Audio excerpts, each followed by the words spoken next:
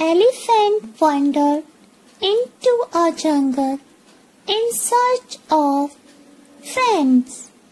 In the jungle, Mr. Elephant saw a monkey on a tree.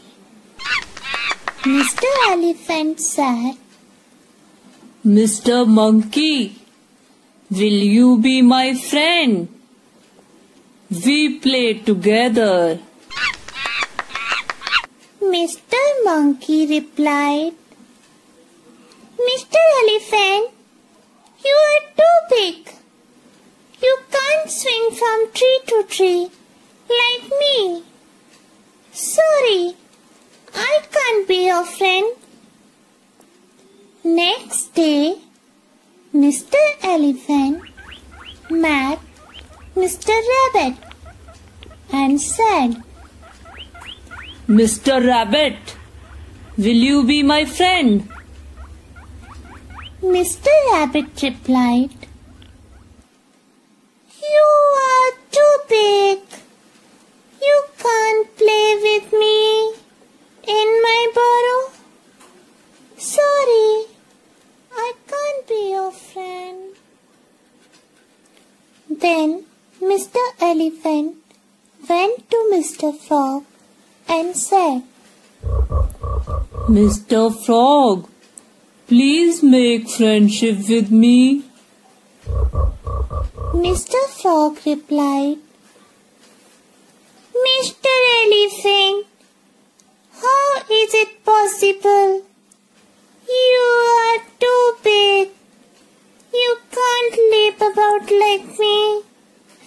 Sorry, I can't be your friend. Mr. Elephant was upset. Because of his giant size, nobody wants to be his friend. Then Mr. Fox appeared. Mr. Elephant asked, Mr. Fox, will you happy to have a friend like me? Mr. Fox said, Sorry, sir.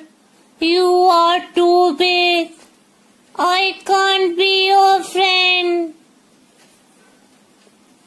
The next day, Mr. Elephant saw all the animals were running for their lives. Mr. Elephant asked Mr. Fox, What is the matter? Mr. Fox replied, There is a lion and he is trying to kill all of us. So all the animals were running away to hide to save their lives. Meanwhile, Mr. Lion whoever he could find. Mr. Elephant went to the lion and said, Please, Mr. Lion, don't eat up all these poor animals. Mr. Lion replied, Mind your own business. Mr. Elephant had no choice.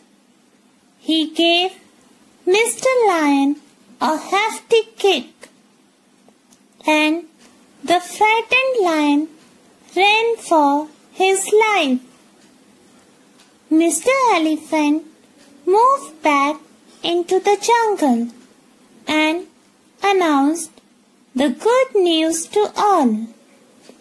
Now you all are safe all the animals thanked him and said, You are just the right size to be our friend.